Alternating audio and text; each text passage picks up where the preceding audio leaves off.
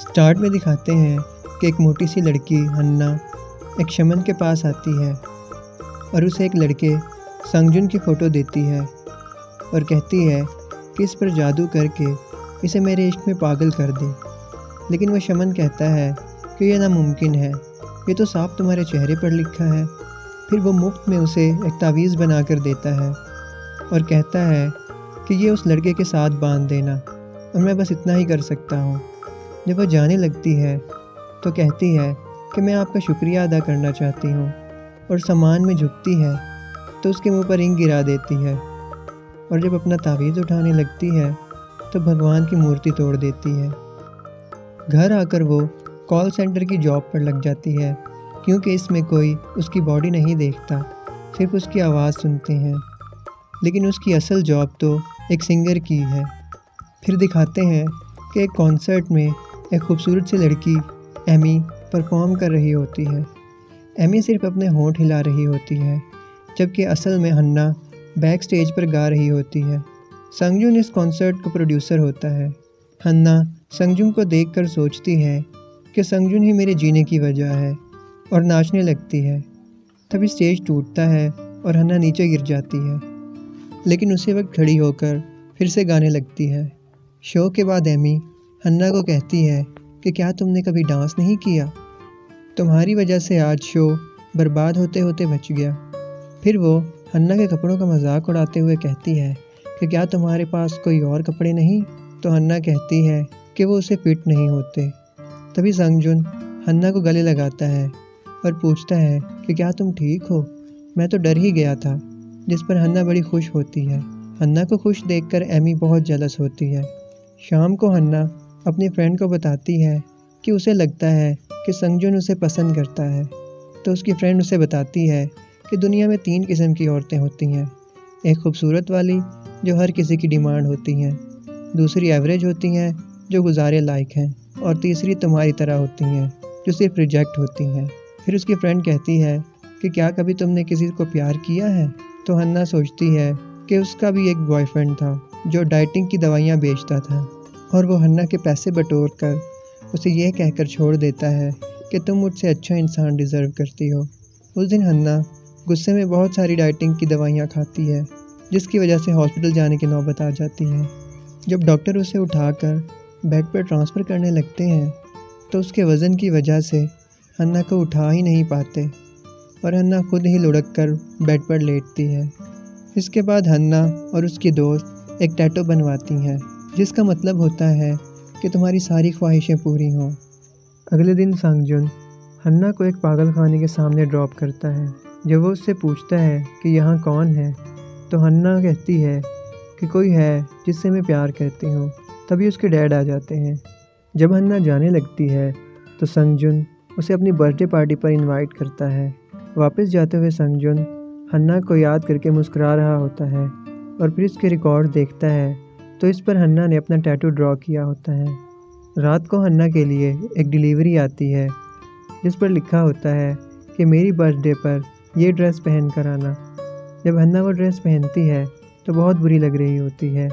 तो वो ऊपर एक कोट पहन लेती है। जब वो पार्टी में जाती है तो संगजुन उसे अपने साथ बैठने को कहता है। तभी इनमें से एक शख्स उसे कहता है कि क्या उसे गर्मी नहीं लग रही? और उसे कोट उतारने को कहता है। जब वह कोट उतारती है तो उसका जिसम साफ़ नज़र आ रहा होता है। ये देखकर सब लोग शर्मिंदा होते हैं। हन्ना संगजुन को कहती है कि ये ड्रेस उसने भेजी थी, इसीलिए उसने इसे पहना है। लेकिन संगजुन सोचता है कि उसने तो कुछ नहीं भेजा। तभी अम्मी वहाँ आती है और उसने भी सेम हन्ना जैसी ड्रेस पहनी होती है। ये देखकर संगजुन सब समझ जाता है और उसे अम्मी पर बहुत गुस्सा आता है। हन्ना ये देखकर बहुत एम्बेरस होती है और वहाँ से चली जाती है। बाद में संगजुन एमी को डांटता है तो वह कहती है कि वो हन्ना को बिल्कुल पसंद नहीं करती। तो संगजुन कहता है कि तुम्हें क्या लगता है कि मैं उसे पसंद करता हूँ? मैं बस उससे काम निकलवा रहा हूँ। अगर वो चली गई तो सब चौपट हो जाएगा। मुझे हन्ना को ये बताने की ज़रूरत नहीं कि वो कितनी बेकार है। हन्ना वाशरूम में बैठी ये सब सुन रही होती है। घर आकर वो सुसाइड करने की कोशिश करती है कि तभी उसके एक कस्टमर की कॉल आती है। अगले दिन वो इस कस्टमर के पास जाती है, जो कि एक प्लास्टिक सर्जन होता है और उसे खूबसूरत बनाने को कहती है। लेकिन डॉक्टर उसे कहता है कि ऑपरेशन से वो मर सकती है, जिस पर हन्ना कहती है कि वो तो कल ही मर गई थी। अब ये आपके हाथ में है कि आप मुझे मारना चाहते हैं या ज़िंदा रखना चाहते हैं? जिस पर डॉक्टर सर्जरी के लिए राज़ी हो जाता है। यहाँ हन्ना सर्जरी की तैयारी करती है और सारी खाने की चीज़ें फेंक देती है और अपने डॉग को कहीं छोड़ आती है। तो दूसरी तरफ़ हन्ना के चले जाने की वजह से एमी की रेटिंग गिरती जा रही थी। सर्जरी के बाद जब उसकी पट्टियाँ खुलती हैं तो डॉक्टर भी हैरान रह जाते हैं। हन्ना जब अपने आप को शीशे में देखती है तो खुशी से रोने लगती है और कहती है कि मैं तो रोते हुए भी प्यारी लगती हूँ, फिर वो अपनी पुरानी पैंट पहनती है तो उसकी वेस्ट आधी हो चुकी होती है। जिस पर वो बहुत खुश होती है। फिर वो मार्केट जाकर एक ड्रेस खरीदती है। जब हन्ना वो ड्रेस पहनकर बाहर निकलती है तो सब लोग मुड़ मुड़ कर उसे देखते हैं। फिर हन्ना एक मॉल में जाती है, जहाँ एमी और संगजुन भी मौजूद होते हैं। हन्ना उन्हें देखकर छुप जाती है। तभी एक और सिंगर एमी के पास आती है और उसकी लो रेटिंग की वजह से उसे चिढ़ाती है।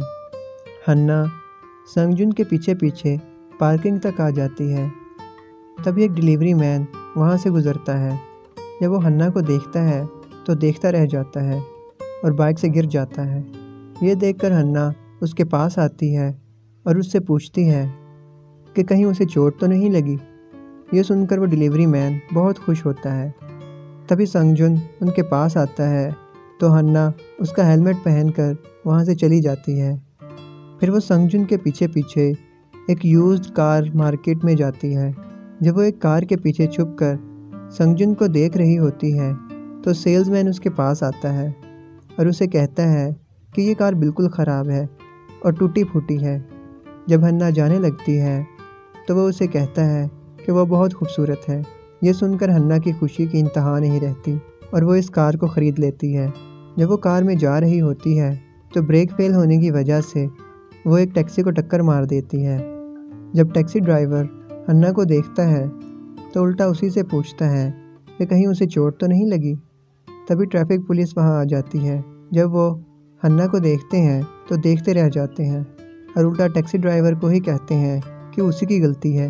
वहाँ मौजूद एक औरत हन्ना का लाइसेंस चेक करने का कहती है। जब वो लोग लाइसेंस पर हन्ना की तस्वीर देखते हैं तो हैरान रह जाते हैं और उसे पुलिस स्टेशन ले जाते हैं। वहाँ वो उसे कहते हैं कि अगर उसकी दोस्त कह दे कि ये तुम ही हो तो तुम यहाँ से जा सकती हो। तभी वहाँ हन्ना की दोस्त जुंगमिन आती है। लेकिन हन्ना की बजाय वहाँ बेंच पर लेटी एक मोटी सी औरत को गले लगा कर कहती है कि ये तुम्हारा क्या हाल हो गया है? वो औरत उसे खाना खिलाने का कहती है तो जुंगमिन पुलिस वालों को कहती है कि क्या तुमने इसे कुछ नहीं खिलाया? तो वो कहते हैं कि हमने इसे खाना दिया था। जिस पर जुंगमिन कहती है कि तुम्हें तीन बंदों का खाना एक वक्त में खिलाना चाहिए था। तभी हन्ना इसके पास जाती है और उसे अपना टैटू दिखाती है, जिस पर उसे हन्ना का पता चलता है।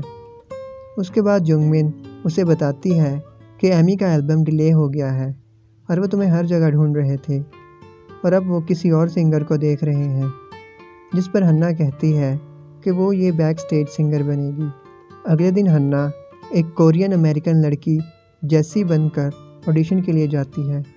जब वो गाती है तो सबके मुँह खुले के खुले रह जाते हैं और वो जैसी को सिलेक्ट कर लेते हैं और एमी की बजाय जैसी को सिंगर बनाने की कोशिश करते हैं। इसके बाद वो इन्वेस्टमेंट के लिए जाते हैं तो इन्वेस्टर नहीं मानता, लेकिन वो किसी तरह मना लेते हैं। फिर इसके बाद जैसी का फ़ोटोशूट होता है और वो फ़ेमस होने लगती है। जब वो गाने की प्रैक्टिस करती है तो संगजुन उसे रोक देता है और उसे हन्ना की पुरानी वीडियो दिखाता है और उसे कहता है कि क्या वो इसकी तरह नहीं गा सकती? जिस पर जैसी कहती है कि लेकिन ये बहुत बदसूरत है। इसके साथ खड़े होने पर भी शर्म आती होगी, जिस पर संगजुन उसे चुप होने को कहता है और कहता है कि ये मेरे लिए बहुत ख़ास थी। इसी की वजह से आज तुम यहाँ हो। इसके बाद हन्ना फैसला करती है कि वो सब सच बता देगी। लेकिन उसकी दोस्त उसे मना करती है और कहती है कि मैंने तुम्हें तीन किस्म की औरतों के बारे में बताया था। मर्द ऐसी औरतों को, जिसने प्लास्टिक सर्जरी करवाई हो, औरत ही नहीं समझते। इनके लिए सब ओके है, जब तक उनकी बंदी ना हो। इसके बाद हन्ना, संगजुन के पास जाती है और बहाने बहाने से इससे प्लास्टिक सर्जरी के बारे में उसकी राय पूछती है। तो संगजुन उसे कहता है कि वो प्लास्टिक सर्जरी को बिल्कुल पसंद नहीं करता। तभी वहाँ हन्ना का डॉग आ जाता है, जिसे संगजुन पाल रहा होता है। बातें करते हुए जब वो हन्ना को परेशान करता है तो वह उसे चुप होने को कहती है और वह हो जाता है, जिस पर संगजुन बड़ा हैरान होता है। जब संगजुन हन्ना को घर ड्रॉप करता है तो कोई उसकी वीडियो बना रहा होता है। संगजुन उसे पकड़ता है तो वो वही डिलीवरी मैन होता है। हन्ना उसे पहचान लेती है। संगजुन उसे मारता है तो हन्ना उसे रोकती है और कहती है कि तुम्हें क्या पता कि कैसा लगता है कि जब किसी को सिर्फ़ दूर से देख सकें और ये ना बता सकें कि हम उन्हें पसंद करते हैं। ये कहकर वो रोते हुए वहाँ से चली जाती है। अगले दिन हन्ना को हॉस्पिटल से कॉल आती है कि उसकी दोस्त ने सुसाइड करने की कोशिश की है। जब वो हॉस्पिटल जाती है तो डॉक्टर उसे बताता है कि उसने तीस नींद की गोलियाँ खाई थी, जो कि एक हाथी को मारने के लिए काफ़ी हैं। लेकिन मैं खुद हैरान हूँ कि ये ज़िंदा कैसे है। ये सुनते ही हन्ना उसके बॉयफ्रेंड के पास जाती है और उसकी अच्छी धुलाई करती है। तभी वहाँ संगजुन आ जाता है और उसे ले जाता है। जब वो कॉन्सर्ट में पहुँचते हैं तो शो स्टार्ट होने में एक मिनट रहता होता है, जिस पर संगजुन बहुत गुस्से में आता है और जेसी को कहता है कि लोग तुम्हारी आवाज़ सुनकर तुम्हें पसंद करेंगे और उसे दूसरे सिंगर से हार ना मानने को कहता है। जब जेसी स्टेज पर जाती है तो उसकी हालत बहुत ख़राब होती है। सब लोग उसे देखकर बातें बनाते हैं, लेकिन जब वो गाती है तो सब हैरान रह जाते हैं। रात को संगजुन हन्ना को किस करता है? हन्ना उसके शीशे पर अपना टैटू ड्रॉ करती है। जब संगजुन उसे देखता है तो उसे शक होता है। जब वो जैसी के डॉक्यूमेंट देखता है तो वहाँ हन्ना की तस्वीर होती है तो उसे सब पता चल जाता है। अगले दिन पार्टी में एमी हन्ना के डैड को लेकर आती है। हन्ना अपने डैड को पहचानने से इनकार कर देती है और उसे धक्का देती है, जिस पर उसकी दोस्त उससे नाराज़ हो जाती है। इसके बाद संगजुन हन्ना को कहता है कि वो उसे धोखा देना बंद करे। वो किसी को नहीं बताएगा। मैंने हन्ना और जैनी दोनों को मौका दिया था, जिस पर हन्ना कहती है कि इसका मतलब ये है कि हम सिर्फ़ तुम्हारी नज़र में पैसे कमाने की एक चीज़ है बस, फिर गुस्से में चीज़ें फेंकने लगती है तो उसके हाथ पर चोट लगती है और खून बहने लगता है, जिस पर हन्ना कहती है कि ये चोट तो कुछ भी नहीं है। मैंने तो अपनी स्किन और हड्डियाँ तक कटवा दी हैं। और जानते हो, मैंने ये सब कुछ किसके बारे में सोचते हुए किया था? अगले दिन कोई पोस्ट करता है कि हन्ना सर्जरी करवा के जैसी बन गई है, जिस पर इन्वेस्टर कहते हैं कि इससे पहले कि कंपनी डूब जाए। कॉन्सर्ट की बजाय हन्ना की गंदी तस्वीरें और वीडियोस बनाकर पैसे कमा लेने चाहिए जिस पर संगजुन को बहुत गुस्सा आता है और वो कॉन्सर्ट करने का कहता है।